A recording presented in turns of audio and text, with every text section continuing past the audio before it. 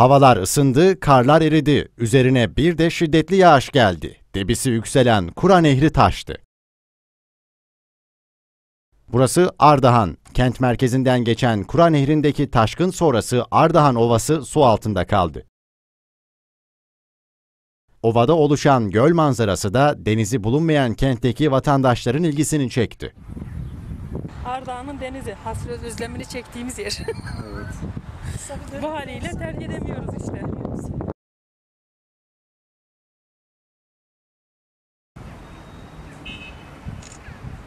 Bazı vatandaşlar nehir kenarına gelerek manzarayı izledi.